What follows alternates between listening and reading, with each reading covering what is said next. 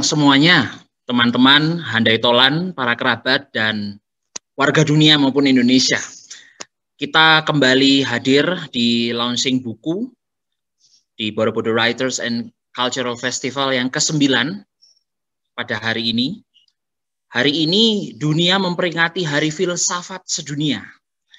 Hari Filsafat Sedunia pada kali ini mengambil tema bagaimana COVID-19 ini direnungi kembali bagi peradaban kita, bagi peradaban manusia ke depannya. Dan untuk menyambut Hari Filsafat Sedunia inilah Bumi Sodana, Borobudur Writers and Cultural Festival mengambil tema mengenai ekologi dan bencana dalam peradaban Nusantara.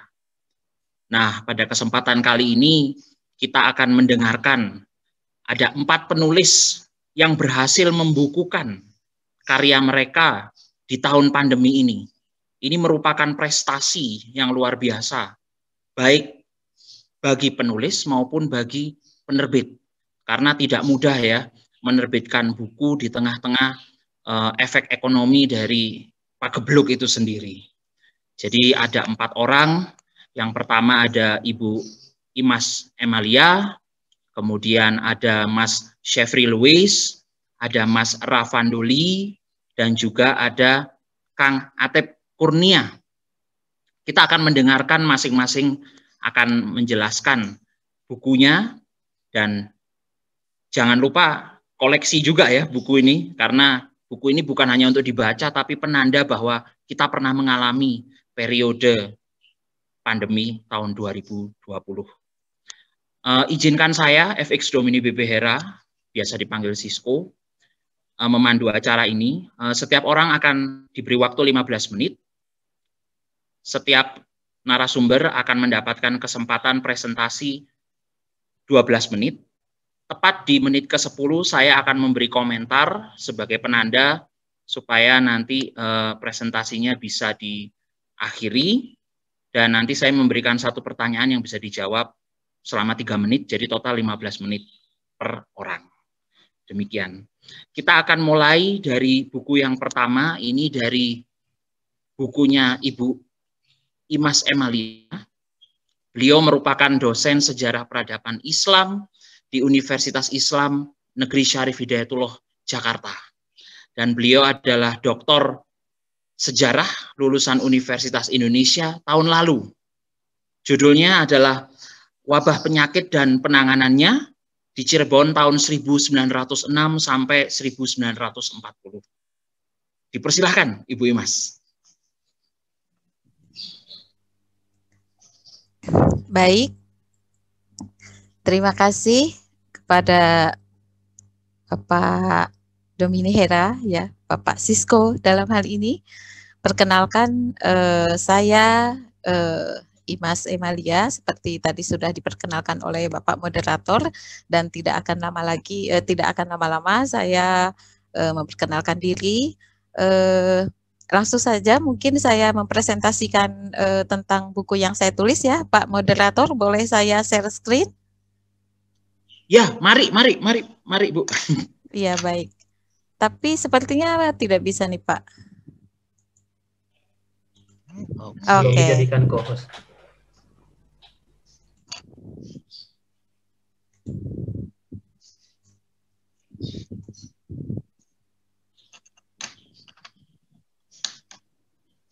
Uh, sebentar, Pak.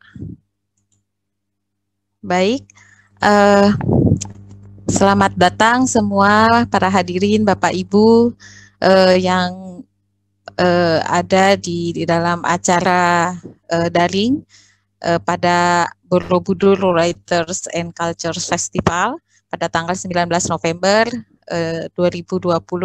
Suatu kehormatan juga bagi saya, saya bisa eh, memperkenalkan ya karya saya di tahun ini tentang wabah penyakit dan penanganannya di Cirebon tahun 1906 sampai 1940.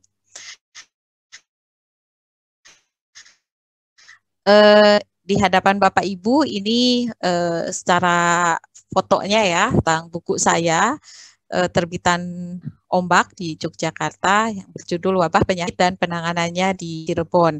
Saya mengambil PPT ini juga sama dengan judul buku uh, yang saya uh, buat. Ada beberapa uh, sebentar Pak. Uh, saya akan ber, ber apa bertolak dari dua pertanyaan mengapa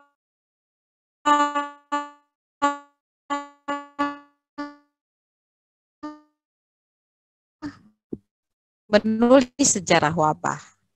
Ya, kemudian yang kedua akan secara uh, keseluruhan, mungkin Bapak Ibu juga bisa membacanya di buku yang bisa dibeli dari penerbit Ombak itu sendiri.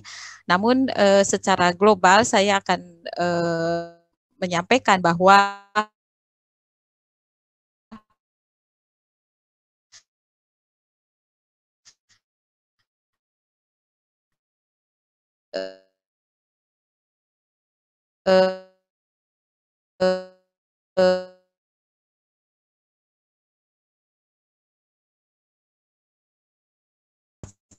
fisik ya, melainkan juga bisa diukur secara spiritual dan sosial dalam sebuah masyarakat.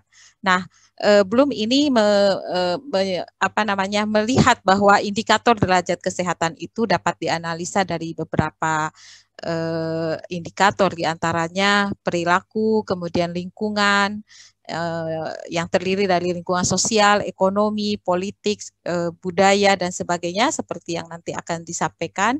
Kemudian ada perilaku kesehatan dan genetik.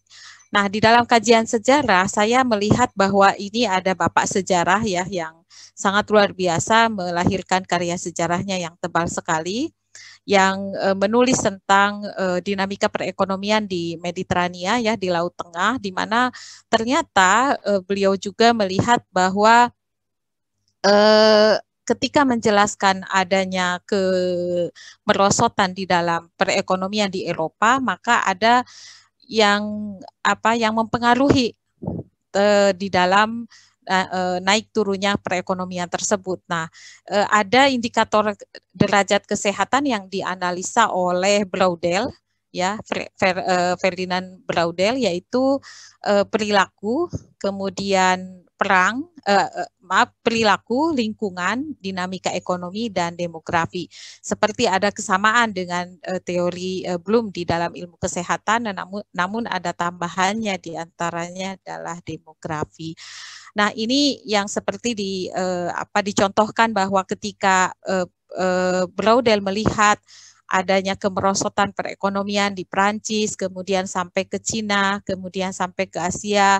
Ini karena ada uh, kontak sosial ekonomi yang ternyata uh, apa ketika mengkapalkan uh, serial, kemudian barang-barang dagangan lainnya ternyata ada di antaranya uh, apa apa istilahnya menyerta ya menyerta di dalam eh, pengkapalan eh, apa komoditas perekonomian itu yaitu tikus-tikus ya yang kemudian mengakibatkan adanya bencana eh, apa wabah pes atau black death ya. Nah, ini juga yang kemudian memicu kelaparan, kemudian kemiskinan dan lain sebagainya sehingga eh, apa membuat uh, kemerosotan uh, di Perancis itu terjadi dan menyebar sampai ke beberapa uh, benua. Lalu kemudian sebagai pengantar, kenapa saya harus meneliti uh, Cirebon ya di tahun 1906 sampai 40. Tentunya karena saya dari kajian dari sejarah ya, jadi kajian sejarah itu sangat mengikat konsep ruang dan waktu sehingga uh, secara ruang saya Cirebon menjadi uh, fokus penelitian di sini ya dan secara waktu bahwa di tahun itu di rentang tahun 06 sampai 40 terjadi modernisasi uh, yang dilakukan oleh pemerintah uh, Hindia Belanda, di mana Cirebon dibentuk sebagai sebuah kota kolonial bersama kota-kota lain di Jawa ya pada tahun 1906 setelah kota Batavia di tahun 1905. Nah, oleh karenanya saya melihat bahwa apabila semakin eh, modern sebuah kota, tentunya akan semakin modern eh, praktik kesehatannya, kemudian perilaku masyarakatnya. Itu yang dijadikan asumsi oleh saya. Namun eh, kita lihat eh, apa secara latar belakang bahwa sebetulnya sebelum modernisasi terjadi Cirebon ini eh, sangat eh, dikatakan ya di dalam beberapa sumber tradisional juga di dalam koran-koran ataupun di dalam eh, catatan Tom Pires ya bahwa Cirebon ini eh, merupakan daerah yang eh, bersih kemudian yang rindang ya dan masyarakatnya patuh ya terhadap eh, sultan yaitu Sultan Syarif Hidayatullah ya yang eh, apa yang dipandang oleh oleh umat Islam itu sebagai Sunan uh, Wali Songo yang kesembilan.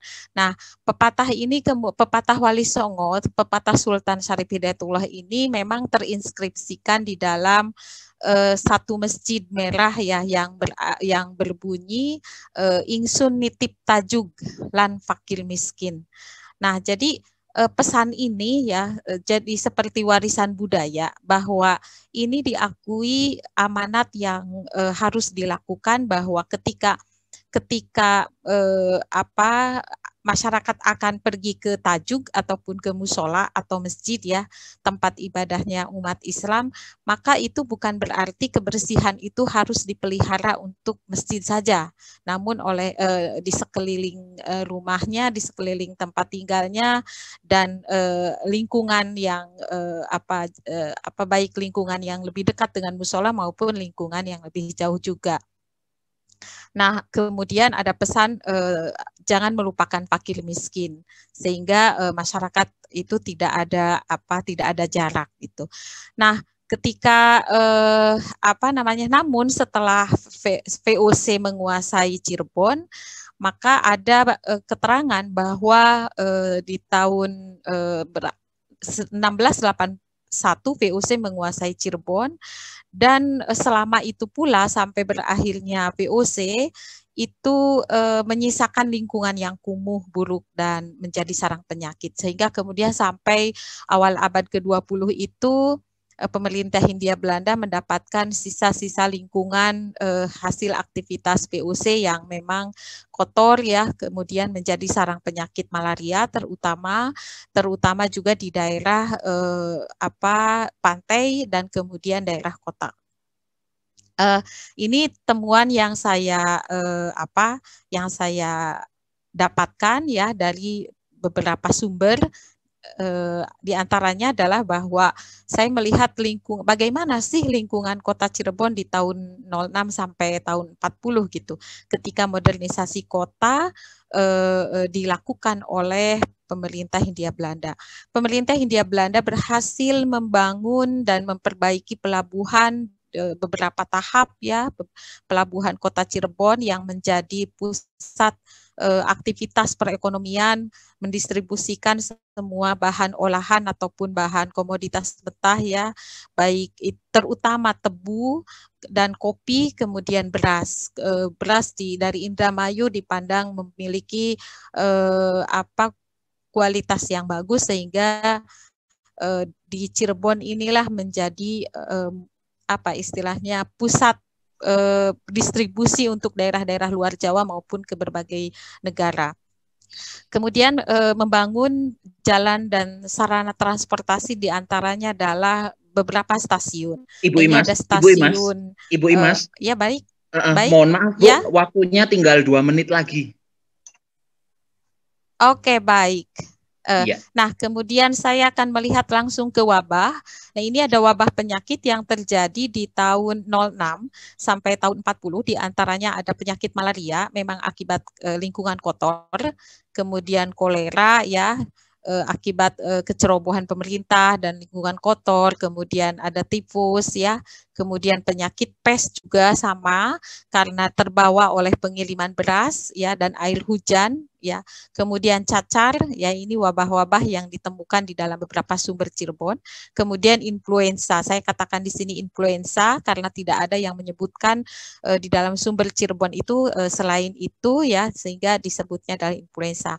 Nah, persebaran wabah penyakit juga terjadi di antaranya mulai dari uh, pantai kemudian menyebar sampai ke beberapa kecamatan ya kita lihat sampai ke, ke, ke lima kecamatan dan kemudian ini juga penyakit kolera juga mulai dari pantai sampai ke uh, pusat kota. Kemudian penyakit tipus juga dari pantai ya pusat perekonomian yang tadi disebutkan sampai ke uh, empat uh, kecamatan kemudian ada caca eh, pes ini pes juga dari pelabuhan dan menyebar sampai ke perbatasan eh, kota Cirebon sampai ke pedalaman Kuningan, Majalengka, Ciamis sampai kemudian ke Priangan melalui Cirebon bagian selatan. Kemudian juga ada eh, eh, apa cacar ini yang tersebar di daerah perkebunan terutama di sindang laut ya. Nah, kemudian ada influenza juga ada di perkebunan e, tebu ya yang ada di sindang laut. Oleh oke, okay, kemudian penanganannya e, lebih lebih jauhnya bisa dibaca di dalam buku ya. Ini sudah dilakukan oleh pemerintah eh, apa dari tahun 06 sampai tahun 40 Eh, dari berbagai wabah penyakit. Nah, kemudian ini usaha uh, pemerintah di antaranya mendirikan rumah sakit, kemudian Bu ini Imas. ada Bu sisa rumah sakit, ya baik. Halo, Bu Imas, uh, mo mohon maaf ya, Bu, waktunya ya, waktu presentasinya udah habis. Uh, tapi untuk menutup sesinya Ibu okay. ini saya mau mengajukan satu pertanyaan, nanti bisa dijawab tiga menit Bu. Uh, jadi pertanyaannya oh, ya, begini Bu apakah Ibu menemukan anasir di Cirebon seperti ini? Uh, pemerintah kolonial itu kan melakukan propaganda yang cukup negatif terhadap profesi pengobat tradisional seperti dukun. Tetapi di sisi yang lain mereka juga mempelajari ilmu-ilmu herbal mereka. Nah, apakah ini juga Ibu temukan dalam dalam buku yang Ibu tulis ini penelitiannya? Ya, baik. Uh, ada ada pe, seperti ini apa namanya di Cirebon itu seperti ada pemutaran film umpamanya uh, tentang uh, pemutaran film tentang fungsi uh, apa fungsi bidan ya. Bahwa melahirkan melahirkan oleh bidan itu lebih bagus sehingga itu mengajak bagaimana masyarakat itu harus apa harus uh, apa uh, melahir uh, apabila melahirkan itu dibantu oleh bidan. Nah, uh, tetapi kemudian disandingkan dengan memutus uh, atau melemahkan uh, apa uh, proses melahirkan yang dilakukan oleh peraji, di mana uh, melahirkan oleh peraji itu dengan silet, dengan pisau, dan itu tidak sehat tanpa ilmu pengetahuan seperti itu. Kemudian ada juga dua, uh, yang kedua itu pemutaran film tentang penutupan eh, kolam-kolam di masyarakat, di mana pemerintah memandang bahwa kolam di masyarakat itu sebagai pemicu wabah malaria gitu. Nah, oleh karenanya eh, eh, apa pemerintah itu sesudah memutarkan film itu kemudian sering melakukan sidak kepada masyarakat yang memiliki kolam ke pesantren-pesantren. Namun ini juga menjadi pemberontakan eh, bukan pemberontakan, protes dari masyarakat bahwa kolam itu tidak menjadi benih malaria karena ditumbuh eh, apa ditanami bibit eh, ikan gitu yang memang tidak akan menimbulkan eh, nyamuk gitu seperti itu. Uh, kemudian juga melemahkan uh, tentang promosi jamu yang dilakukan oleh masyarakat pribumi masyarakat Cina uh, apa penduduk Cina dan kemudian uh, penduduk Arab yang memang uh, itu mengiklankan di dalam koran-koran uh, milik pribumi gitu ya. Tetapi kemudian juga di apa namanya di di dihambat uh, iklan itu dengan dengan iklan yang yang serupa tentang pentingnya obat medis yang ada di apotik-apotik. Namun ini juga tidak menjadi daya tarik yang luar biasa oh, dari masyarakat untuk ke apotik ya karena dipandang mahal. Mungkin itu yang bisa saya jawab Pak uh, moderator. Terima kasih. Ya, terima kasih banyak Bu Imas. Ini informasinya luar biasa. Jadi kalau nanti mampir ke Cirebon sembari makan nasi jamblang, kita juga bisa menelusuri titik-titik di mana Bu Imas menuliskan dalam disertasinya bagaimana Cirebon melawan wabah demi wabah itu. Terima kasih banyak Bu Imas. Eh, teman-teman uh, bisa membeli Baik. bukunya Bu Imas di penerbit Ombak. Tebalnya 494 halaman, uh, luar biasa sekali. Ini wajib koleksi ini bukunya Bu Imas ini. Terima kasih Bu Imas. Baik. Terima kasih ya. sama-sama Pak Moderator. Terima kasih Bu. Saya eh, serahkan uh, kembali kepada moderator. Terima ya. kasih. Terima kasih banyak. Uh, berikutnya adalah Mas Sefri Luis. Beliau adalah sejarawan lulusan S1 dan S2 dari Universitas Indonesia. Ini adalah buku pertama beliau, anak rohaninya yang pertama, dari skripsinya beliau yang berjudul Epidemi Penyakit Pes di Malang tahun 1911 sampai 1916. Jadi kalau tadi Bu Imas memulai periode tahun 1906, sekarang kita ke Malang tahun 1911 sampai 1916. Waktu dan tempat kami persilahkan, Mas Jeffrey. Siap, terima kasih uh, atas kesempatannya. Saya mau sharing dulu, udah bisa? Apakah sudah share? Ya, sudah, sudah, sudah okay. masuk. Terima kasih kepada uh, Mas Isko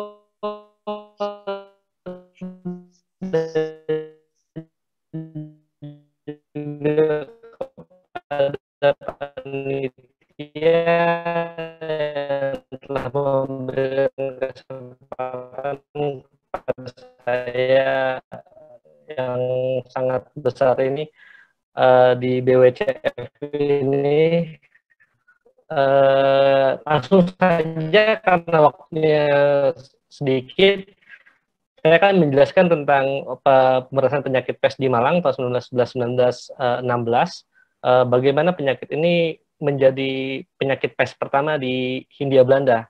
Nah, ada faktor-faktor penyebaran penyakit pes yaitu penyakit adalah penyakit antar hewan awal mulanya. Jadi penyakit antar hewan terus kemudian dari hewan menular ke manusia dan kemudian uh, manusia ke manusia jadi ini sifatnya penyakit zoonosis. Terus ada faktor lain yaitu ada faktor sangat berpengaruh dalam eh, penyebaran penyakit pes. Transportasi ini adalah uh, menjelaskan ah, kemudian Hindia Belanda atau dari luar Indonesia.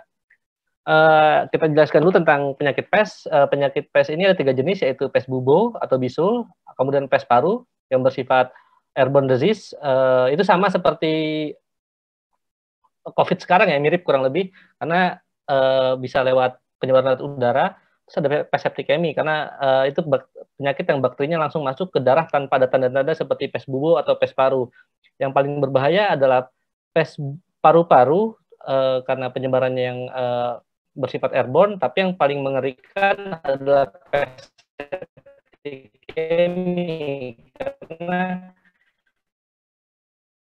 uh, paling uh, fatal uh, korban yang terkena penyakit ini. Nah ini salah satu contoh ya ada bubo atau bisul itu isinya nanah ketika pecah itu bisa. Nah penyakit pes pertama di Indonesia ini terjadi di Tanjung Morawa tahun 1905, cuman hanya dua orang korbannya.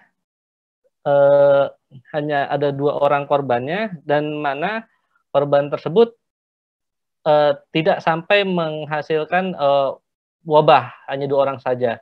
Kemudian baru tahun 1910 ketika ada impor beras dari uh, uh, Myanmar, penyakit ini bisa masuk ke Hindia Belanda, terutama di Pulau Jawa, yang mana penyakit ini uh, terjadi ada wabah sebelumnya ada wabah di Myanmar dan karena impor beras itu dibutuhkan oleh pemerintah Hindia Belanda untuk masyarakat akhirnya dikirim beras ke Malang eh ke Surabaya dan dari Surabaya dikirim ke Malang. Nah, ketika dikirim ke Malang, penyakit ini ternyata menyebar di Malang. Mengapa demikian? Tadi kita kembali ke faktor geografi ya. Jadi di Malang itu lokasinya lebih dingin dan saat itu sedang musim hujan. Jadi eh, penyebaran penyakit tikus antar tikus dulu, antar tikus di kota Malang eh di Malang tersebut membuat eh, tikus eh, banyak terkena eh, pes dan akhirnya menyebar ke manusia. Nah itu karena ada ada ada banjir yang menyebabkan kota Lulingi dan Malang terputus dan dari situ tuh dari apa dari beras-beras yang dititipkan di dekat stasiun-stasiun uh, di dekat stasiun di gudang-gudang dekat stasiun itu yang menyebar penyakit pes ke seluruh wilayah Malang kemudian. Nah itu uh, dari Dampit atau Turen wabah turun menyebar ke seluruh kota Malang dan itu uh, pergerakannya sangat cepat ya. Uh, dari bulan November sampai Maret itu korban sudah ribuan orang dan sampai akan tetapi hingga saat itu pemerintah kolonial masih beranggapan kalau uh, tidak ada penyakit pes di kota Malang seperti itu masih ada penyangkalan. Selain itu juga saat itu Malang kondisinya sedang musim hujan dan suhu udaranya rendah. Kemungkinan besar suhu udaranya cuma uh, berapa belas derajat ketika siang hari, eh ketika siang hari dan bahkan malam lebih dingin lagi. Jangan dibandingkan dengan kota Malang sekarang karena saat itu uh, Malang lebih banyak uh, lebih memiliki banyak pohon Uh, korban PES itu tahun 1911 jumlah korbannya 2000-an orang dan 1912 juga sama 2000-an orang. Uh, kan tetapi saya sendiri meragukannya karena dalam laporan surat kabar ada ada berita yang menjawab, uh, mengabarkan kalau ada desa yang penduduknya habis. Jadi menurut saya ada upaya mereduksi dari pemerintah uh, tentang jumlah korban tersebut meskipun ya uh, kemudian akhirnya melonjak. Mengapa bisa melonjak tahun 1913? Jadi antara tahun 1911 sampai tahun 1912, Kota Malang itu dikarantina. Itu adalah karantina atau lockdown pertama di Hindia Belanda. Kota Malang dikunci dari luar, jadi orang nggak boleh nggak boleh masuk dan nggak boleh keluar. Jika ada yang memaksa masuk, mereka bisa ditembak mati. Tapi tahun 1913 eh, karantina tersebut dibuka karena eh, permintaan eh, dari para pengusaha perkebunan Nah itu faktor ekonomi. Dengan dibukanya uh, kota tersebut, akhirnya wabah menyebar dengan sangat parah. Jumlah korban melonjak dari 2.000 ke 11 ribuan orang, kemudian 1914 ke 15 ribu orang. Akan tetapi tahun 1915 uh, eh, ada perubahan. Mengapa demikian? Karena uh, pemerintah kota pemerintah uh, Hindia Belanda akhirnya membentuk Kota Malang tahun 1914 dan juga uh, dinas kesehatan uh, membentuk Dinas Pemberantasan PES, Dinas the PES Trading. Akhirnya koordinasi dua lembaga tersebut menyebabkan bisa menekan uh, pemberantasan penyakit PES. Hingga tahun 1916 jumlah korban hanya 500-an orang dan itu dianggap uh, selesai uh, epidemi di Malang. Nah, penanggulangan tentang penanggulangan PES. Seperti saya sebutkan tadi, ada penyangkalan dari pemerintah kolonial Hindia Belanda disebutkan bahwa penyakit ini tidak akan masuk ke Hindia Belanda baru pada 27 Maret baru diakui ada penyakit pes. Nah, seperti saya sebutkan tadi, ada jumlah korban atau 1911 itu sampai 2000-an orang, padahal ada di laporan di surat kabar di satu desa jumlah korban mencapai 300 orang meninggal dunia. Bahkan ada satu desa yang uh, istilahnya wipe out atau tersapu habis, meninggal semua. Seperti itu. Nah, penduduk pribumi yang nggak pernah sama sekali uh, terkena penyakit ini, akhirnya ya mereka meng apa ya namanya ya uh, berlari ke hal-hal yang bersifat uh, magis. Salah satunya adalah menggambar rumah mereka dengan gambar gambar-gambar buto karena dianggap bisa mengusir uh, jin jahat yang masuk ya pagebluk yang mengenai desa mereka. Cuman hal tersebut tentu saja nggak berhasil karena ya ini adalah penyakit dari hewan ke manusia. Uh, kemudian juga seperti saya sebutkan tadi ada yang awalnya ada uh, karantina tahun 1911 1912 dan juga saat itu ada surat pas jalan. Mungkin seperti uh, pandemi Covid seperti uh, sekarang ini. Jadi ada upaya untuk membatasi pergerakan dari kota Malang dan keluar kota Malang. Jadi setiap orang yang dianggap sehat harus punya surat pas jalan untuk bepergian. Kemudian kenapa wabah ini bisa sangat uh, menimbulkan banyak korban? Karena takutnya dokter Eropa jadi dokter-dokter Eropa kan dokter yang paling banyak. Nah, mereka takut. Kenapa takut? Karena mereka punya ingatan akan Black Death atau uh, wabah hitam yang terjadi di Eropa. Nah, hal tersebutlah yang membuat dokter takut. Akhirnya malah menyuruh dokter-dokter Bumi Putra untuk bergerak. Bahkan para mahasiswa tingkat akhir dari Stovia disuruh turun uh, tangan dan tanpa perlu menyelesaikan uh, tugas akhir, mereka dianggap lulus jika bersedia membantu dan menyelesaikan masa dinasnya di Kota Malang. Saya itu eh, salah satu dokter terkenal. Ini adalah titik balik dari Dokter Cipto Mangunkusumo karena beliau turun tangan langsung dan akhirnya mendapatkan oranye Nassau. Uh, itu uh, salah satu bintang Mahaputra ya kalau zaman sekarang yang diberikan oleh uh, Ratu Belanda karena keberhasilan beliau membantu pemberantasan memberantas penyakit pes di Malang.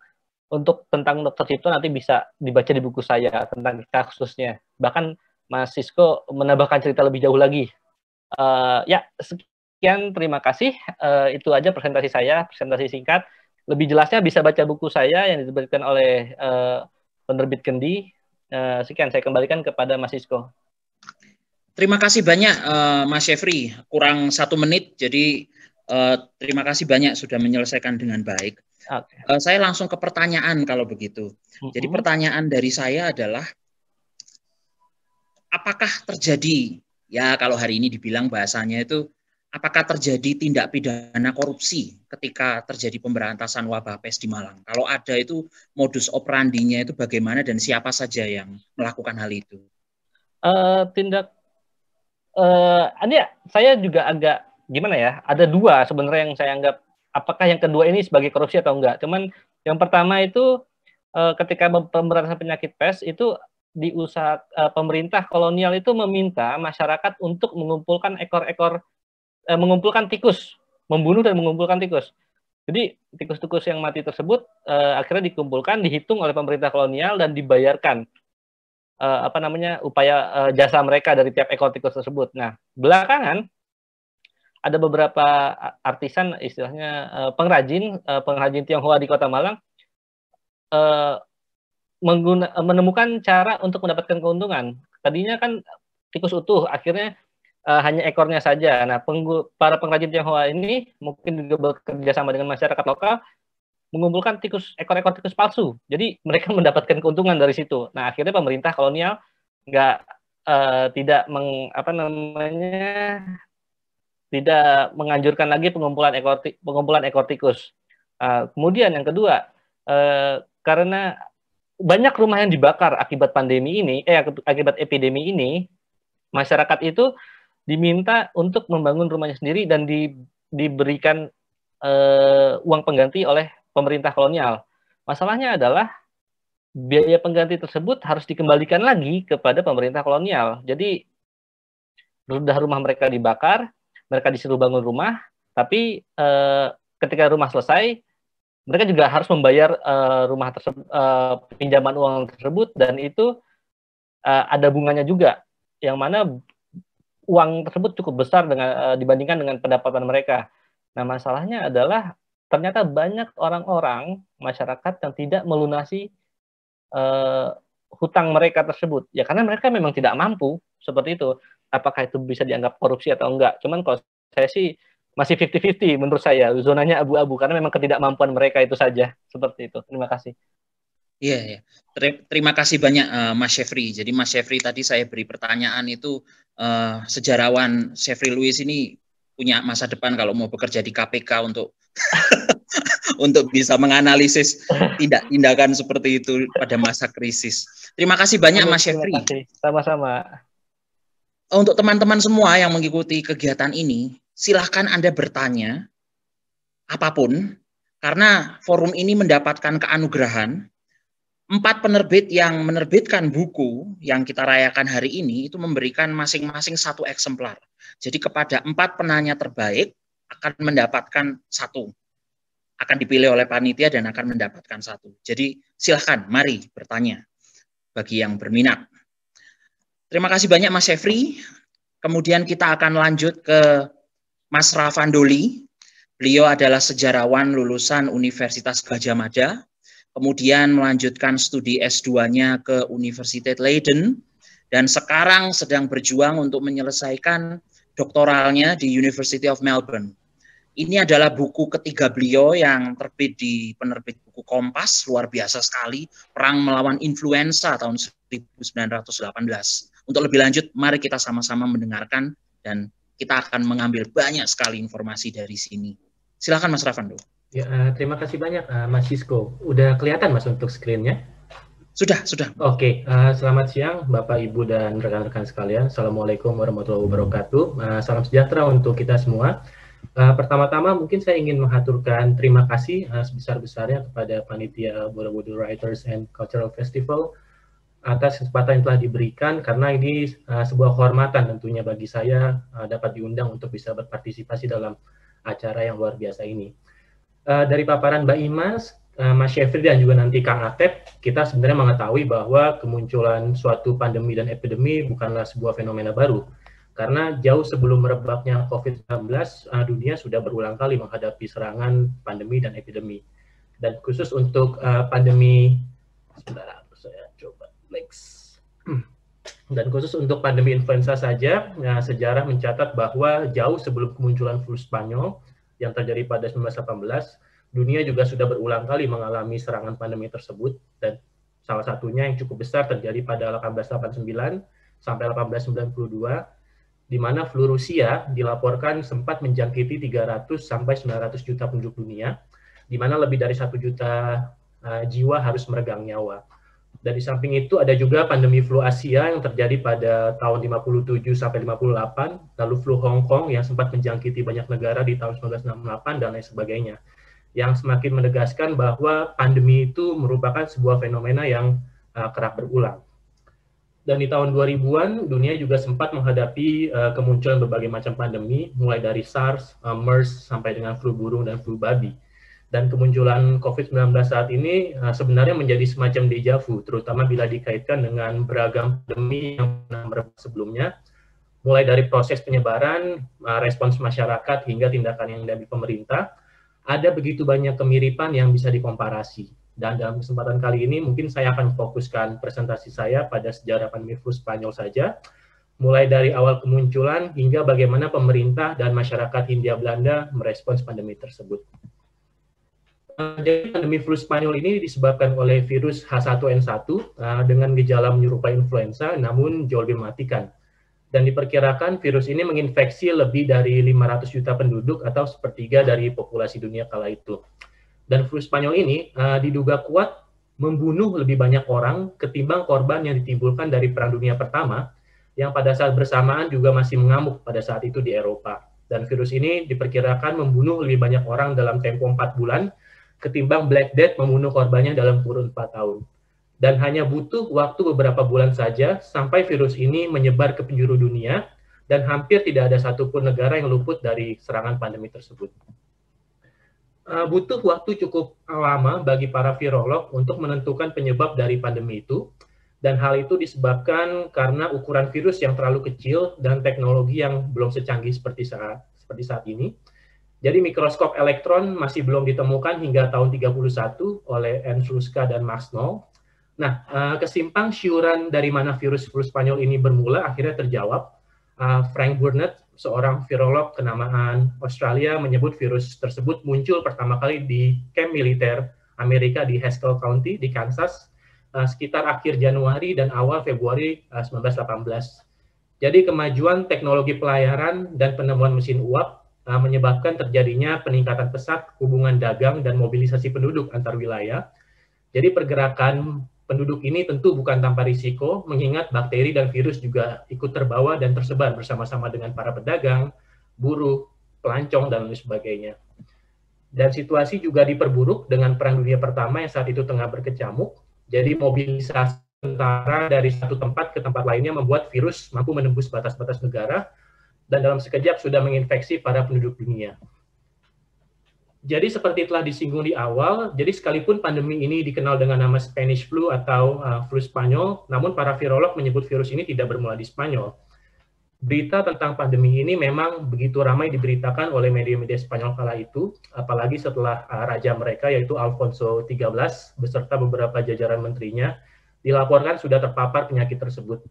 Jadi netralitas Spanyol dalam Perang Dunia Pertama uh, membuat sensor negara terhadap media di negara tersebut jauh lebih lunak, beberapa media Spanyol memprediksi 8 juta populasinya menunjukkan gejala terinfeksi influenza akut. Uh, namun di Spanyol mereka menyebut virus tersebut dengan nama French flu atau flu Prancis. Dan diperkirakan um, sekitar 50 hingga 100 juta orang menjadi korban keganasan dari pandemi ini. Dan untuk ukuran pandemi influenza, angka mortalitas tersebut jelas tidak lazim lantaran pandemi influenza pada umumnya hanya membunuh kurang dari 0,2 persen dari populasi yang terjangkiti. Dan Indonesia atau yang saat itu juga dikenal dengan nama Hindia Belanda uh, mencatat kematian sebesar satu setengah juta orang atau 30,6 jiwa per seribu orang. Dan Indonesia menjadi negara dengan rataan kematian tertinggi di dunia. Uh, namun pada tahun 2013, uh, Profesor Sida Chandra, seorang pengajar di Michigan State University, mengkalkulasi ulang angka kematian akibat flu Spanyol ini di mana ia menggunakan beberapa sumber kolonial seperti Fox-Telling, laporan tahunan BGD, dan kolonial Verslah. Dan dari hasil risetnya, ia memprediksi angka kematian di Jawa dan Madura akibat pandemi ini itu berkisar di angka 4,26 hingga 4,37 juta jiwa. Dan Madura menjadi wilayah dengan prosentase kematian tertinggi, yaitu 23,71 persen, yang kemudian disusul oleh Banten, Kediri, Surabaya, Rembang, Pasuruan, dan lain sebagainya. Nah, uh, peta ini menunjukkan bagaimana proses transmisi flu Spanyol selama gelombang pertama. Dan sebagai catatan, uh, penyebaran flu Spanyol di berbagai belahan dunia pada umumnya itu terjadi dalam tiga gelombang. Gelombang pertama itu terjadi pada musim semi, yaitu sekitar bulan Maret 18, dengan jumlah korban yang terinfeksi dan meninggal masih tergolong sedikit. Gelombang kedua terjadi pada musim gugur, yaitu antara September sampai November 18, dan ini menjadi puncak transmisi pandemi ini di seluruh dunia. Sedangkan gelombang ketiga terjadi pada musim dingin, yaitu antara Desember 18 hingga Februari 19, di mana penyakit ini masih merajalela di berbagai wilayah di Hindia Belanda. Dan di Indonesia kolonial, uh, flu Spanyol itu menyebar dalam dua gelombang, di mana gelombang pertama itu terjadi antara bulan Juli sampai Agustus 18, sempat mereda menjelang akhir Agustus dan September, virus itu kemudian bermutasi dan menyerang dengan skala yang jauh lebih masif antara bulan Oktober sampai Desember 18 dan periode itu kerap disebut sebagai gelombang kedua. Dan di beberapa daerah di Hindia Timur, pandemi ini bahkan bertahan hingga paruh awal 1919. BGD atau Dinas Kesehatan Hindia Belanda menduga bahwa virus influenza ini masuk ke Hindia Belanda melalui Penang atau Singapura, yaitu melalui kuli-kuli yang rencananya akan bekerja di perkebunan di Pangkatan di Sumatera Utara, dan dari Pangkatan kemudian virus itu menyebar dengan sangat masif ke Medan dan terus bergerak hingga ke seluruh Hindia melalui jalur laut. Namun BGD sendiri tidak dapat menemukan tanggal pasti nah, kapan virus itu menyebar dan tidak dapat memverifikasi kebenaran dari berita tersebut. Dan selama gelombang kedua, uh, gejala dari orang yang terinfeksi penyakit ini pun uh, semakin beragam dan sangat kompleks. Namun yang paling berbahaya adalah ketika terjadi komplikasi di mana pneumonia menjadi momok pembunuh utama. Dan bila sudah sampai pada tahapan tersebut, uh, sangat kecil kemungkinan bagi si penderita untuk dapat bertahan hidup. Dan saking berbahayanya penyakit tersebut, beberapa penyintas flu Spanyol menuturkan bahwa orang-orang yang terjangkiti pandemi ini pagi sakit sore meninggal, sore sakit pagi meninggal. Hal itu merujuk kepada begitu cepatnya uh, flu Spanyol bisa membunuh uh, seseorang. Dan BGD juga menyatakan hampir tidak ada daerah di Hindia Belanda yang tidak tertular oleh uh, penyakit influenza ini. Um, salah satu langkah konkret awal yang dilakukan oleh pemerintah kolonial adalah dengan membentuk influenza komisi pada 16 November 18 dan pembentukan komisi ini merupakan ide dari Thomas de Vogel selaku pimpinan BGD. Uh, komisi ini diketuai oleh Dr. De Langen dengan tugas mengadakan investigasi terkait penyebaran flu Spanyol di Hindia Belanda. Jadi mulai dari akar penyebaran, gejala-gejala dari penyakit tersebut, tingkat mortalitas hingga cara penanganannya. Dan pada bulan Mei 1919, uh, influenza komisi berhasil menghasilkan beberapa rekomendasi penting terkait penanggulangan influenza, seperti misalkan membuat uh, obat influenza dalam bentuk tablet dan mengimbau para penduduk untuk mengenakan masker. Nah, berikut adalah para motor utama di balik influenza komisi tersebut, di mana banyak dari kita yang mungkin uh, sangat familiar dengan sosok Dr. Sarjito, rektor pertama UGM yang baru saja diangkat sebagai pahlawan nasional tahun lalu. Dan selain itu, pada tahun 20, pemerintah kolonial melalui Balai Pustaka juga mengeluarkan dua buah buku terkait penanggulangan influenza. Jadi buku pertama itu berjudul Leloro Influenza yang tulis dalam aksara Jawa. Tokoh utamanya adalah Wayang Punakawan, yaitu Petruk, Gareng, Semar, dan Bagong. Sementara untuk buku kedua berjudul Awas Penyakit Influenza dengan tokoh utamanya yang bernama Si Panjang dan Si Gendut. Uh, jadi alur dari kedua alur cerita dari kedua buku ini mirip meskipun tokoh utama dan latar belakang tempatnya berbeda. Jadi kisahnya itu diawali dari sebuah desa yang terkena pagebluk influenza. Gambar uh, gambar-gambarnya menarik ya Mas Ravando. Ya, terima kasih Mas. Lalu kepala uh, desa setempat mengadakan sayembara bagi siapa pun yang bisa mengusir penyakit tersebut, maka akan dinikahkan dengan anak yang cantik bernama Seriati. Uh, namun yang menarik adalah sosok dokter yang digambarkan memiliki peranan kunci dalam kisah tersebut, dan hal ini tentu bukan tanpa sebab, mengingat masyarakat pada saat itu masih memandang sebelah mata profesi dokter lantaran pengobatan ala barat itu masih begitu asing di kalangan masyarakat. Lalu selain itu juga ada influenza ordonansi yang disahkan pada 29 Oktober 20 yang kemudian uh, memperketat proses turun naik penumpang di pelabuhan-pelabuhan kelas 4. Uh, eh, lalu kemudian salah satu fenomena menarik lainnya adalah menjamurnya obat herbal um, yang sebenarnya dalam beberapa hal tidak terlalu efektif, mungkin cukup efektif untuk mengobati gejala ringan seperti panas dan batuk, tetapi ketika sudah terjadi komplikasi tidak lagi uh, cukup efektif untuk mengobatinya.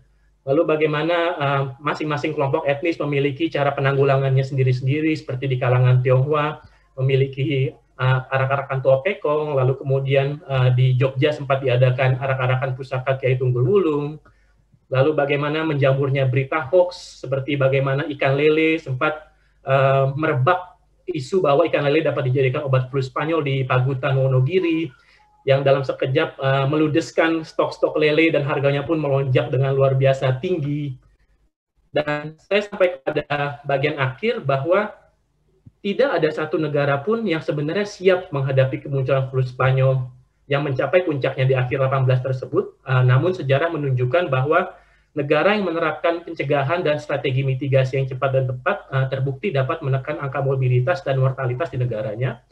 Dan strategi di sini di antaranya pengaturan keluar masuk orang di jalur-jalur strategis, penutupan sekolah, bioskop, dan tempat yang berpotensi menciptakan kerumunan massa hingga penerapan protokol kesehatan yang ketat. Dan lebih dari itu, uh, proses pemulihan ekonomi pun terbukti jauh lebih cepat di negara-negara yang menerapkan strategi tersebut dengan efektif.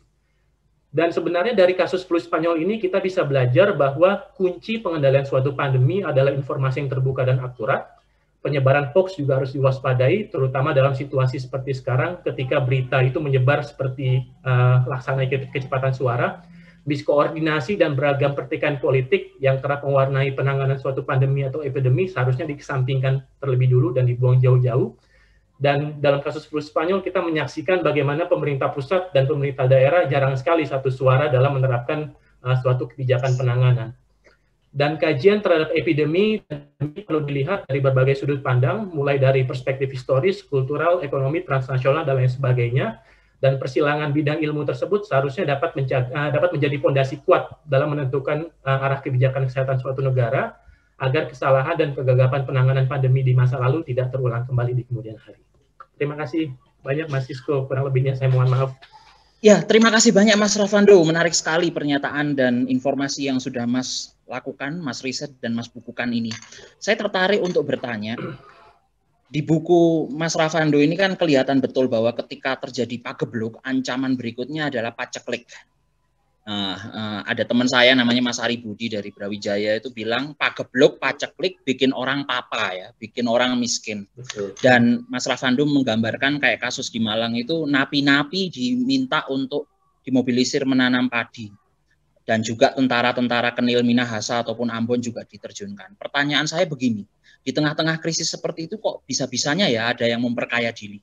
Hmm. Nah, selain memperkaya diri itu kira-kira ada politisi politisi juga nggak yang aji mumpung di tengah-tengah krisis itu? Oke, nah, terima kasih banyak Mas Sisko untuk pertanyaannya menarik sekali.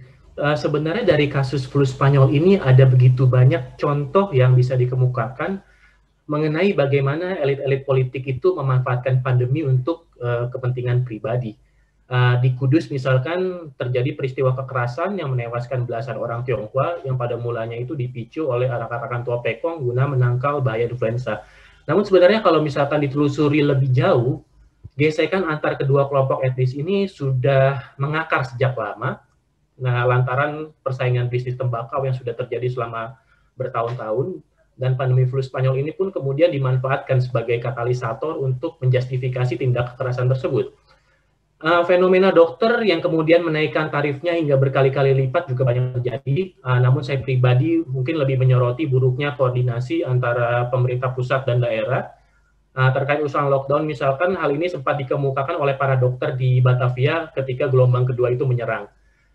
Yang kemudian berakhir dengan penolakan mentah-mentah dari Dinas Kesehatan uh, dan koordinasi yang buruk pun membuat masyarakat dilanda kebingungan. Banyak dari mereka yang berpikir daripada saya mati konyol, uh, lebih baik saya kemudian mengandalkan uh, pengobatan tradisional, pengobatan herbal atau kemudian ada banyak juga pengobatan-pengobatan pengobatan metafisik seperti itu um, benturan para elit politik tersebut juga terjadi dalam penyusunan influenza ordonansi uh, pada tahun 20 yang disahkan pada tahun 20. Um, sejatinya draft rancangan ini sudah selesai di tahun 1919, namun protes keras uh, dari Koninglek uh, Paket Pat Maskapai atau Pelni Pelninya sekarang yang menganggap ordonansi itu hanya akan menghambat uh, kegiatan operasional KPM, membuat pengesahannya tertunda hingga tahun 20.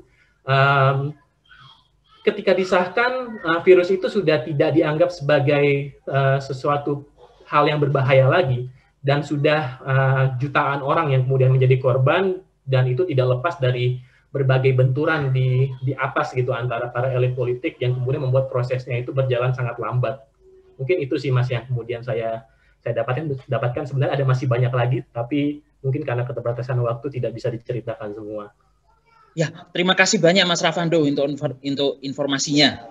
Eh, teman-teman uh, semua bagi yang ingin bertanya ke Mas Rafando, dipersilahkan dan kita akan beranjak ke narasumber kita yang terakhir, penulis Kang Atep Kurnia. Kang Atep Kurnia adalah seorang penulis, periset yang sudah banyak membuat buku dan artikel-artikel. Nah, kali ini kita akan mendengar buku beliau yang terbaru, yaitu mengenai zaman Woneng, uh, wabah sampar di Priangan tahun 1925 sampai tahun 1937. Damang Kang? Ah, Pangesto, Mas. Alhamdulillah. Mangga, mangga, mangga itu. Ya. Uh, terima kasih banyak Mas Sisko. Assalamualaikum warahmatullahi wabarakatuh. Salam sejahtera untuk kita semua. Uh, saya hendak berbagi apa yang saya tulis dalam buku ini, Zaman Wonang wabah sampar di Priangan tahun 1925 hingga tahun 1937.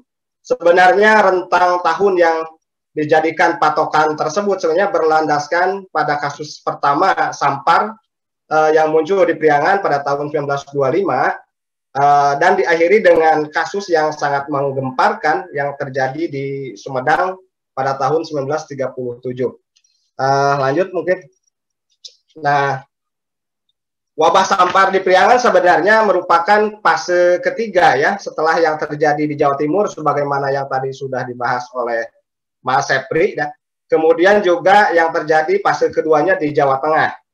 Ya, Priangan sendiri sebenarnya mengacu kepada enam kabupaten di Jawa Barat yakni Cianjur, Bandung, Sumedang, Garut, Tasikmalaya dan Ciamis. Nah, wacana kemunculan sampar di Priangan ini sebenarnya sudah dikemukakan uh, jauh-jauh hari dalam media-media berbahasa uh, media-media lokal uh, maupun Belanda seperti yang uh, saya dapati dalam uh, koran sifat tahunan yang berbahasa Sunda. Nah, uh, lanjut. Nah, kemudian kasus pertama ini di Priangan muncul mula-mula uh, ditemukan pada akhir tahun 1925 di daerah Ciawi Tasikmalaya ini kemungkinan e, berasal dari daerah Kuningan, e, selatan Cirebon yang sedang terjangkit wabah. Ini karena adanya mobilitas penduduk dan adanya migrasi tikus ya sebagai e, apa agen pembawa e, penyakit sampar.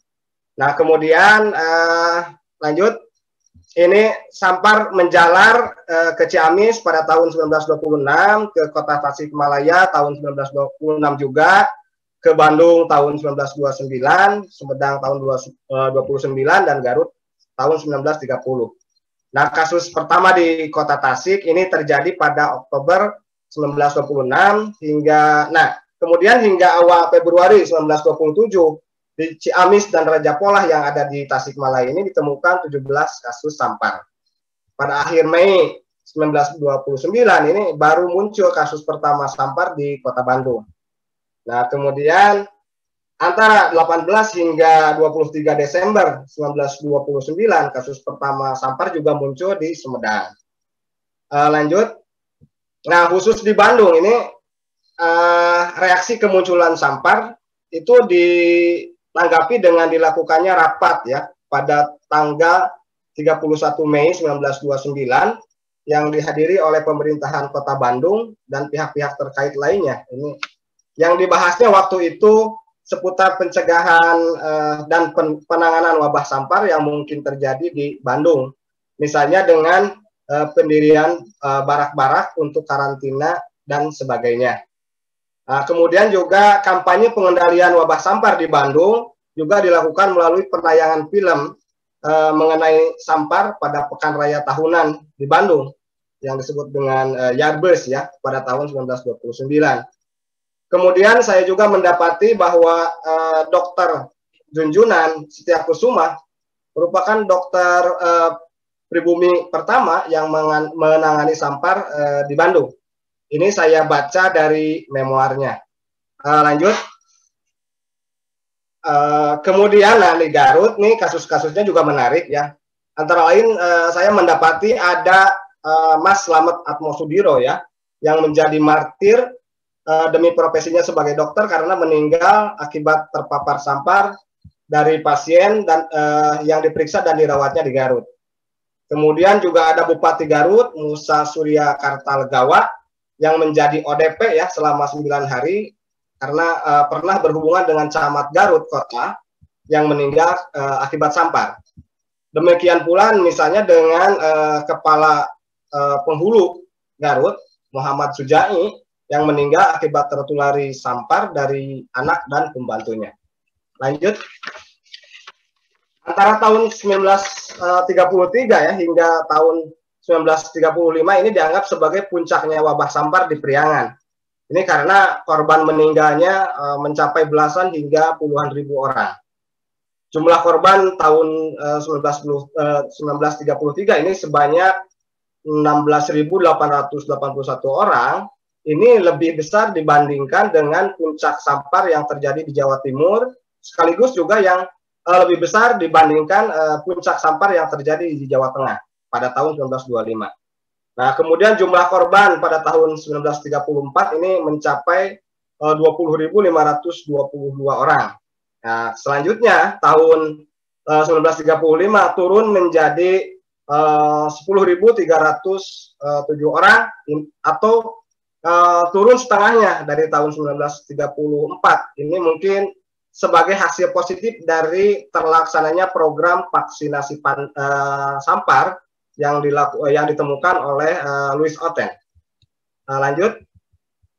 Nah, saat membawahnya sampar di Priangan, ini kalangan ulama juga dilibatkan, terutama uh, untuk kampanye mengenai suntik mayat, yakni upaya mengambil sampel darah dari korban yang meninggal akibat sampar dan mendapatkan penolakan bahkan perlawanan dari masyarakat. Ini misalnya uh, penghulu kepala Bandung ya uh, Raden Haji Abdul Kadir ini menulis uh, dua brosur dalam bahasa Sunda pada tahun 1932.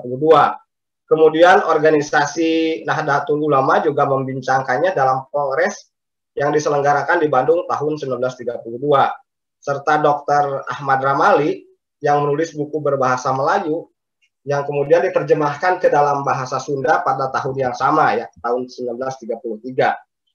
Uh, eh, lanjut uh, untuk menangani sampar di Piangan tentu saja yang dinilai ampuh adalah penemuan vaksin oleh Dr. Louis Otten. Ya sejak tahun 1929 uh, setelah menemukan sampah tikus dari daerah Ciwidey ini Kabupaten Bandung, ia terus melakukan penelitian dan uji coba vaksin sampar. Uji coba vaksinasinya ini dilakukan di uh, Banjaran dan Kabupaten uh, dan uh, Batu Jajar Kabupaten Bandung pada akhir tahun 1934. Karena dianggap efektif, ini vaksinasi massa mulai dilakukan pada pertengahan Januari 1935 di empat under district di Priangan, yakni di Cimahi, uh, Ranca Ekek, dan masing-masing satu under distrik di Garut dan Tasikmalaya. Uh, selanjutnya, uh, ya yang menarik ini sebagaimana yang ter, uh, terjadi pada upaya suntik mayat program vaksinasi uh, uh, vaksin OTN ini mendapat juga uh, penolakan bahkan perlawanan dari masyarakat. Ini salah satunya salah satu kasusnya yang paling menarik dan menggemparkan adalah terjadi di Cibugel, Sumedang pada tahun uh, 1937 dan berbuntut panjang. Ketika akan diselenggarakan uh, kampanye vaksinasi anti sampar, sempat terjadi kerusuhan ya yang disambung dengan uh, penangkapan bahkan pengadilan para pelakunya ya. Bah, kemudian juga diikuti oleh pemecatan Wedana yang waktu itu menjabat sebagai camat Dharma Raja karena dianggap tidak cakap menangani kejadian tersebut. Lanjut. Nah, selain uh, vaksinasi ya, program penanganan sampar uh, juga dilakukan dengan jalan perbaikan dan pembangunan rumah yang dalam istilah uh, Belanda disebut warning bettering yang dianggap tidak rentan dijadikan sarang tikus agen pembawa baksil sampar.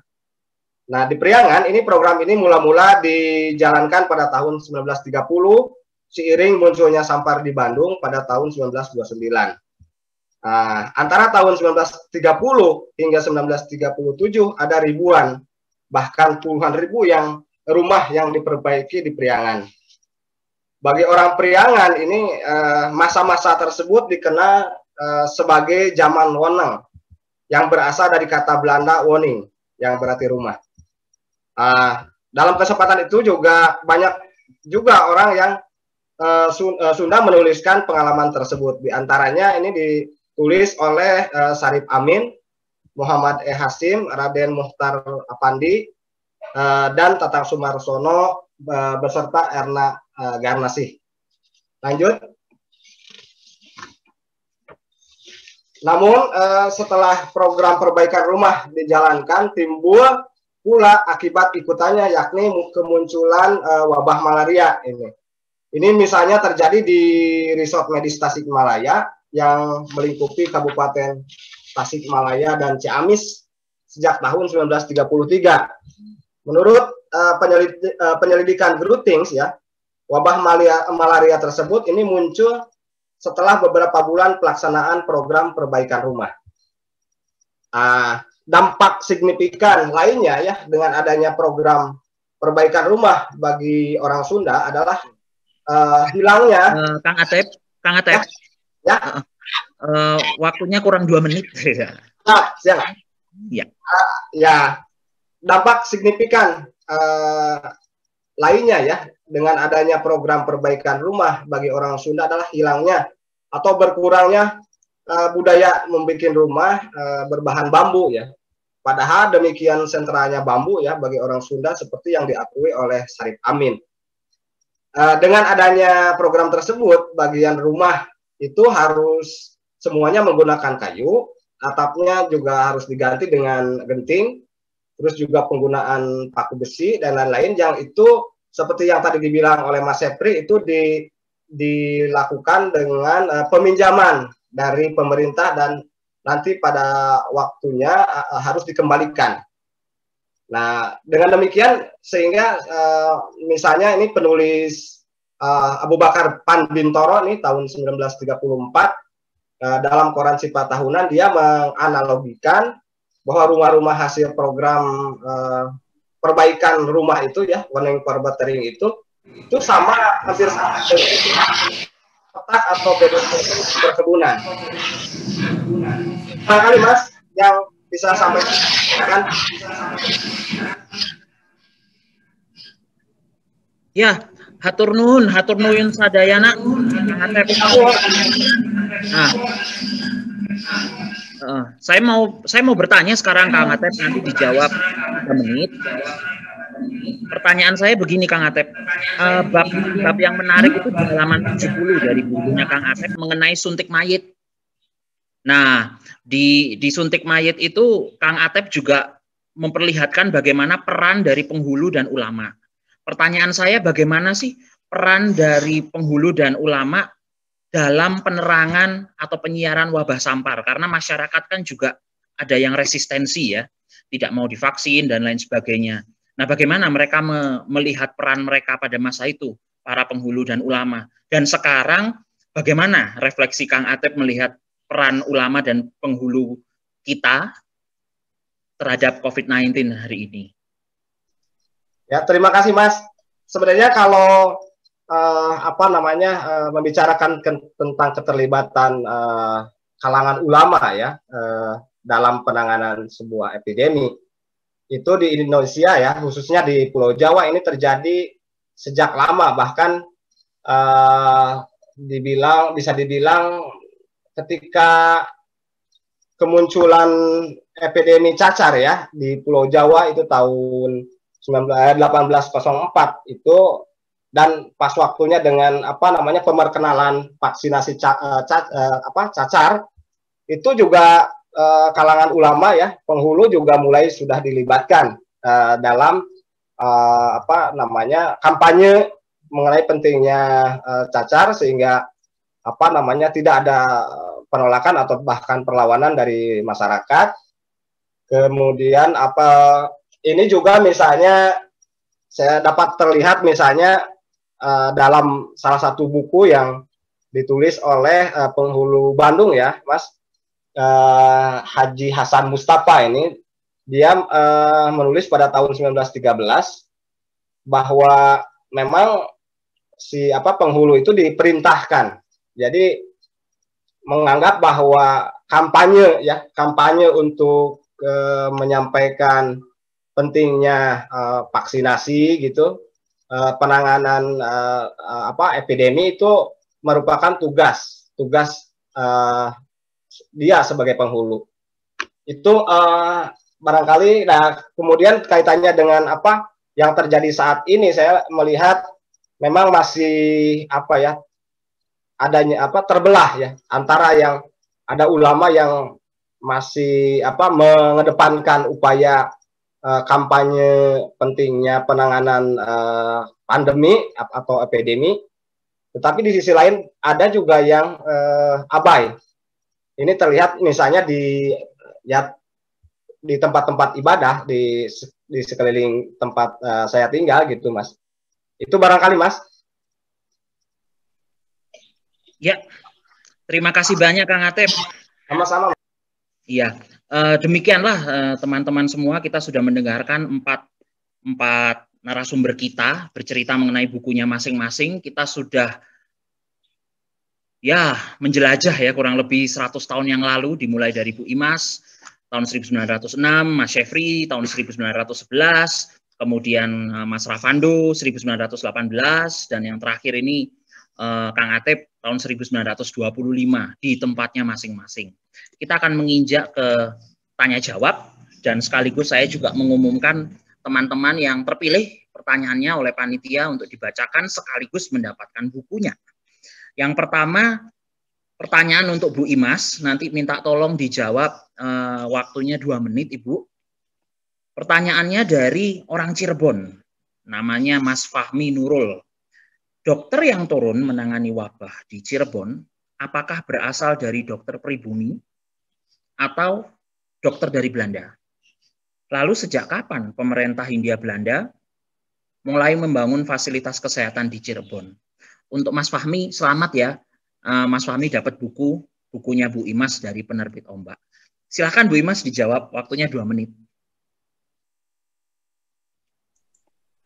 Terima kasih kepada Saudara Fahmi ya yang sudah bertanya eh, terkait eh, dengan dokter yang diturunkan oleh eh, apa namanya pemerintah Hindia Belanda untuk menangani penyakit atau wabah di Cirebon ini. Memang ada dokter eh, Eropa sudah pasti ya ada beberapa dokter namun juga ada dokter pribumi yaitu eh, Muhammad Toha itu yang tadinya bertugas di uh, di Padang, kemudian ke Bogor, kemudian ke Bandung dan sampai ke Cirebon. Nah, ini uh, yang kemudian bisa sampai membuat uh, berhasilnya rumah sakit di Cirebon, rumah sakit Gunung Jati, ya yang dulu rumah sakit Oranye, kemudian rumah sakit Pamitran ini di bawah pimpinan Dr. Muhammad Toha. Namun kemudian karena uh, pemerintah menekankan harus bayar sehingga eh, apa namanya eh, kemudian diprotes oleh Dr. Muhammad Toha sehingga akhirnya Dr. Muhammad Toha dipindahkan ke Surabaya pada tahun 1940. Kemudian pertanyaan eh, yang kedua tentang lembaga kesehatan yang didirikan di Cirebon itu di antaranya eh, pada tahun 1921 itu pemerintah sudah membangun rumah sakit eh, pusat ya, rumah sakit pemerintah yaitu rumah sakit Oranye yang kemudian sekarang disebut rumah sakit Kosambi atau rumah sakit Gunung Jati. Itu kalau eh, dari pemerintah, tetapi juga ada rumah sakit uh, swasta yaitu rumah sakit Pamitran ya rumah sakit ibu melahirkan kemudian rumah sakit Zending di Majalengka dan juga selain rumah sakit itu lembaga pemerintah seperti klinik-klinik ya poliklinik yang dibangun di perkebunan-perkebunan ya seperti di Sinang Laut di Majalengka kemudian di Indramayu. Ini untuk melayani uh, kebutuhan kesehatan uh, apa para pekerja di perkebunan tersebut. Kemudian juga ada beberapa ada lembaga PES juga yang di bawah eh, ke pengawasan pemerintah Kota Cirebon, tetapi didirikannya di Kuningan. Tetapi ini juga wilayah kerjanya meliputi daerah Kota Cirebon, Majalengka, Ciamis, Tasikmalaya. Nah, ini juga untuk eh, mengontrol bagaimana tingkat eh, apa namanya mortalitas ataupun tingkat morbiditas dari penyakit PES. Jadi uh, itu sudah sejak 1910-an eh, ya sudah mulai didirikan uh, lembaga pemerintah uh, lembaga kesehatan oleh pemerintah dan oleh swasta. Baik, itu saja yang bisa saya sampaikan Pak uh, Domini. Terima kasih kepada uh, Pak Fahmi atas pertanyaannya. Terima kasih.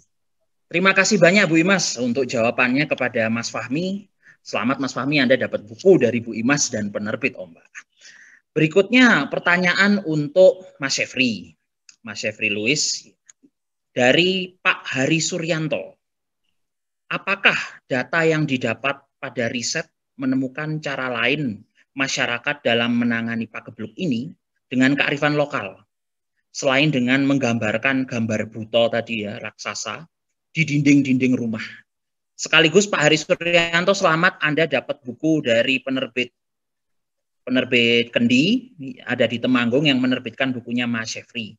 Selamat Mas Berikutnya silakan Mas Syafri menjawab pertanyaan dari Pak Hari Suryanto. Ya, uh, terima kasih uh, Mas Isko. Terima kasih juga kepada Pak Hari. Uh, apakah ada pengobatan lokal, uh, apa kegiatan-kegiatan lokal yang terkait dengan pemberantasan penyakit pes ini? Uh, banyak dari masyarakat yang akhirnya pergi ke dukun saat itu. Cuman uh, untuk tingkat keefektivitasannya saya nggak menjamin sama sekali. Mengapa demikian? Ya karena uh, penyakit ini penyakit baru di Hindia Belanda dan mungkin dukun juga nggak nggak apa ya nggak paham dengan sebenarnya dengan penyakit ini ya akhirnya eh, banyak yang kembali kepada pengobatan-pengobatan modern karena memang eh, dibutuhkan hal tersebut meskipun begitu misalnya kayak terkait dengan vaksinasi dan lain sebagainya ternyata juga eh, masyarakat juga menolak karena mereka jadi mungkin semi kelinci percobaan karena banyak yang meninggal.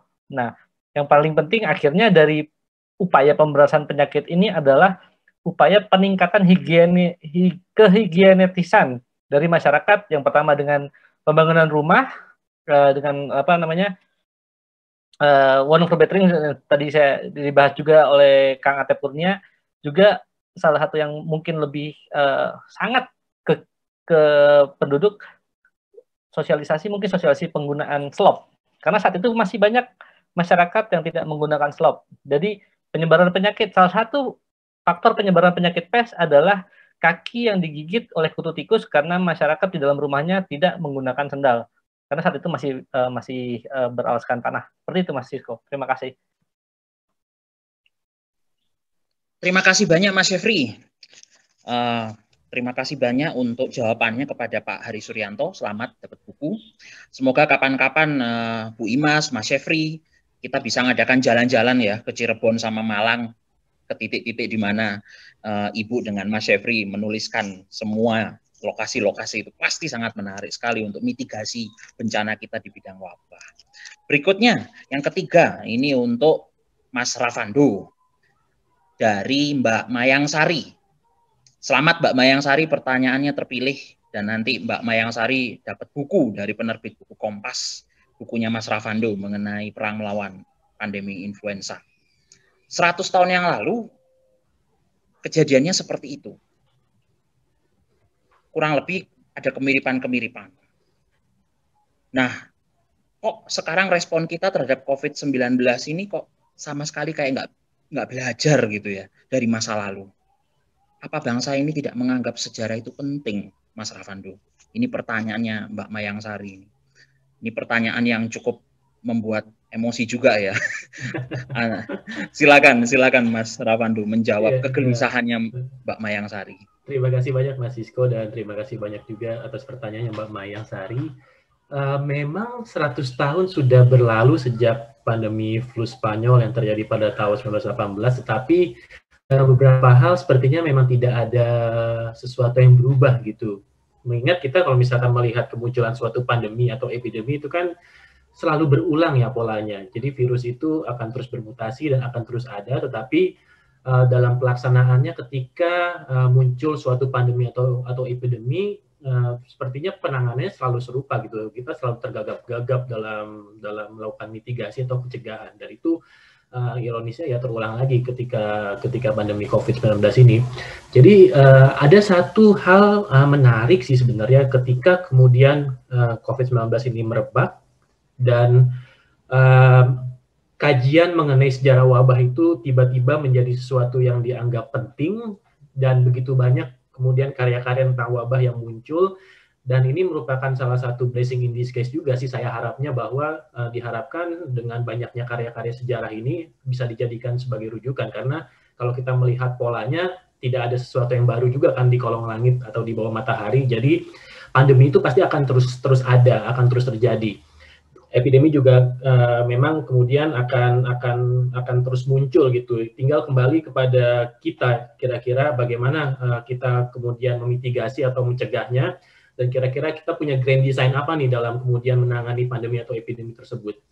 Um, sebenarnya kan kemarin saya sempat agak tergelitik juga ketika banyak istilahnya semacam teori konspirasi yang menyebut ini merupakan fenomena 100 tahun sekali yang kemudian dikaitkan antara kemunculan pandemi tahun 1720, 1820, lalu kemudian 1920 padahal tahun 1920 pandemi flu Spanyol ini tidak dianggap sebagai pandemi yang berbahaya lagi pada saat itu sudah dianggap sebagai pandemi yang pandemi yang biasa dan um, menurut saya sih ya itu lagi-lagi kembali kepada kira-kira um, pembelajaran sejarah ini akan menjadi kunci sih, uh, saya pikir karena saya lihat kan bahwa sejarah dan kedokteran itu selalu dianggap sebagai dua komponen yang terpisah. Jadi uh, sejarah ya sejarah, terus kemudian kedokterannya kedokteran. Padahal kalau kemudian disinkronkan itu akan menjadi suatu kajian yang sangat menarik uh, tentang sejarah kesehatan ini. Jadi diharapkan sih uh, setelah ini mungkin akan akan ada banyak lagi kajian-kajian mengenai sejarah kesehatan yang muncul dan diharapkan juga nanti untuk pencegahan ke depannya mungkin unsur dari pembelajaran sejarah itu bisa dimasukkan terutama kalau misalkan melihat bagaimana pola masyarakatnya kemudian bagaimana pola penyebarannya uh, diharapkan sih untuk ke depannya itu akan menjadi kunci sih mas untuk untuk desain kesehatan. Ya, terima kasih banyak Mas Rafando. Jadi memang sejarawan ini harus dimobilisir tidak hanya di Kementerian Pendidikan dan Kebudayaan tapi juga ke Kementerian Kesehatan ini ya. Terima kasih banyak Mas Rafando untuk jawabannya. Selamat Mbak Mayang Sari, Anda mendapatkan bukunya Mas Rafandoli. Kemudian pertanyaan terakhir untuk menutup sesi kita, ini datang dari Mbak Eka Rezeki untuk Kang Atep. Kang Atep, apakah Dr. Louis membuat vaksin di Hindia Belanda? Jika demikian, berarti pada masa itu laboratorium kesehatan Hindia Belanda sudah canggih untuk menciptakan vaksin sendiri. Nah, berapa lama, Kang, waktu yang dibutuhkan untuk menciptakan vaksin tersebut? Dari mana dana vaksin tersebut? Apa dananya itu dari subsidi pemerintah?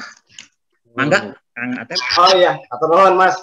Nah, untuk saudari Ega eh, rezeki ya, apakah Dr. Louis ini ya memang Dr. Louis uh, Oten ini membuat vaksinnya di Hindia Belanda uh, di ter, apa namanya lebih khususnya di Bandung ya karena dia itu waktu itu menjabat sebagai uh, kepala uh, Institut Pasteur Pasteur Institute ya uh, karena memang dari sejarah kita tahu bahwa uh, pendirian lab itu laboratorium di Hindia Belanda itu sudah dilakukan sejak lama paling tidak pada sudah dimulai pada akhir abad eh, ke-19. Waktu itu uh, masih di daerah di Welte Preden ya di Batavia. Kemudian uh, pada awal abad 20 dipindah ke Bandung ya. jadi uh, apa namanya uh, Institut Pasteur. Nah, nah ketika itu di, uh, ketika apa Louis Otten ini diangkat menjadi kepala Institut Pasteur, uh, dia melakukan penelitian mengenai apa ya uh, wabah sampar terutama di Priangan ini berdasarkan uh, sampel tikus yang mati akibat terinspeksi oleh uh, wabah uh, Sampardi dari daerah Ciwidey ini tahun 29. Dia kemudian uh, melakukan percobaan uh, dengan menggunakan tikus putih dan marmot ini beberapa kali ya berulang-ulang. Ini dilakukan dia selama hampir 5 sampai 6 tahun ya. Jadi memang kalau dilihat kita kaitkan dengan sekarang pembuatan vaksin memang memerlukan waktu yang lama. Tidak uh, apa tidak sebentar ya, tidak instan tetapi memerlukan uh, waktu yang lama, percobaan ber, berkali-kali dan lain-lain. Uh, kemudian ini uh, ya bisa dibilang kalau ini lumayan canggih ya keadaan labnya kalau misalnya uh, sekelasnya apa Dr. Louis Oten bisa menemukan vaksin yang uh, apa efektif untuk uh, menangani wabah sampar di Priangan waktu itu. Nah, ini sudah saya bilang juga ini berapa lama ya untuk menciptakan paling itu bisa uh, eh, 5 sampai 6 tahun. Dia uh, tahun 33 1933 dia menguraikan uh, penemuannya dalam tulisan uh, di jurnal ilmiah. Kemudian juga dia mempresentasikan hasil penemuannya juga uh, dan dia diganjar dianugerahi uh, apa namanya penghargaan dari pemerintahan uh, Kabupaten Bandung terutama waktu itu Uh, kemudian dia uh, menguji cobakan vaksinnya mulai uh, mulai akhir tahun 1934. Ini tadi di dua tempat ya di Batu Jajar itu daerah Cimahi dengan Banjaran di Kabupaten Bandung. Kemudian nah uh, vaksinasi massal itu mulai dilakukan sejak Januari tahun 1935.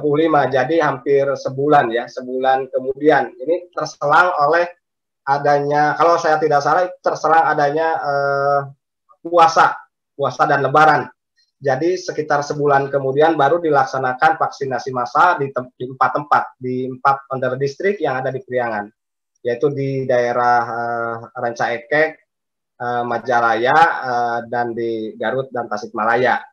Nah kemudian pertanyaan selanjutnya dari mana data eh apa dana oneng perbetering ya ini berasa. Ya. Ini, ini tadi sudah saya, disinggung oleh Mas Efri juga oleh saya. Ini uh, uangnya dari pemerintah uh, kolonial ya yang harus dikembalikan. Nah, tetapi dalam pengalaman uh, orang Sunda ini orang Priangan khususnya ini menjadi pengalaman yang sangat pahit karena pada waktu yang bersamaan ia harus uh, mereka harus membuat rumah tapi sekaligus juga harus mengembalikan uang yang mereka pinjam untuk membeli uh, apa materi materi materi bangunan seperti genting, uh, paku dan lain-lain gitu. Itu Mas, Mas uh, Sisko.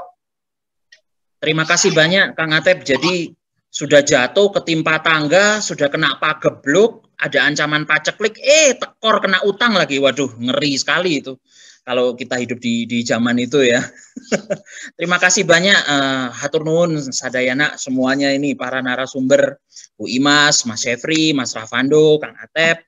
Saya minta maaf sekali kalau ada salah ucap, salah kata selama membawakan sesi ini. Kepada teman-teman semuanya, terima kasih banyak sudah mengikuti sesi ini. Habis ini masih ada sesi berikutnya dan sampai tanggal 23, mari kita saksikan terus acara Borobudur Writers and Cultural Festival tahun 2020 dan saya mengucapkan terima kasih juga kepada panitia Borobudur Writers and Cultural Festival, penerbit buku Kompas, penerbit Kendi, penerbit Layung dan juga penerbit Ombak. Terima kasih banyak. Semoga kita tetap sehat, tetap terus maju dan setidaknya para penulis ini akan dikenang oleh keturunannya bahwa Eh, bapak saya atau nenek moyang saya pernah menulis buku dan terbit ketika pandemi tahun 2020.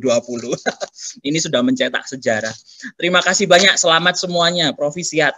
Saya kembalikan ke teman-teman panitia.